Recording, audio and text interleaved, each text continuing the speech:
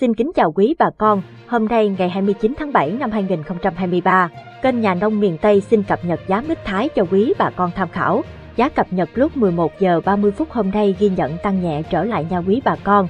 Cụ thể như sau, tại Tiền Giang kem lớn 24.000 đồng mỗi kg, kem nhỏ 18.000 đồng mỗi kg, kem 38.000 đồng kg. Tại Đồng Tháp, An Giang, Long An kem lớn 23.000 đồng mỗi kg, kem nhỏ 17.000 đồng mỗi kg, kem 37.000 đồng kg. Tại Hậu Giang, Cần Thơ, Sóc Trăng, Kiên Giang, kem lớn 22.000 đồng mỗi kg,